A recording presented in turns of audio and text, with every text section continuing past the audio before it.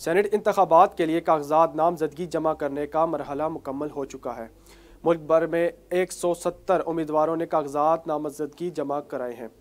पंजाब से उनतीस, सिंध से उनतालीस के पी के से इक्यावन, बलूचिस्तान से इकतालीस और इस्लामाबाद से दस उम्मीदवारों ने कागजात नामजदगी जमा कराए हैं।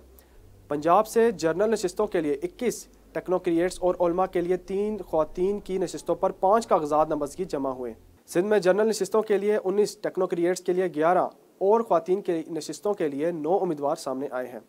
के पी से जनरल नशस्तों के लिए बाईस टेक्नोक्रिएट्स ओलमा के लिए ग्यारह खातन के लिए तेरह, अकलीती नशस्त के पाँच कागजात जमा हुए।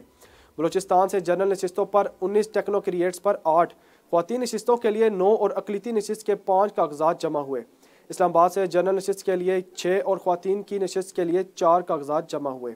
इलेक्शन कमीशन 16 फरवरी को उम्मीदवारों की इब्तदाई फहरिस्त जारी करेगा। सेनेट इंतबात के लिए तहरीक इंसाफ के तेईस उम्मीदवारों ने कागजात, नामजदगी जमा कराए।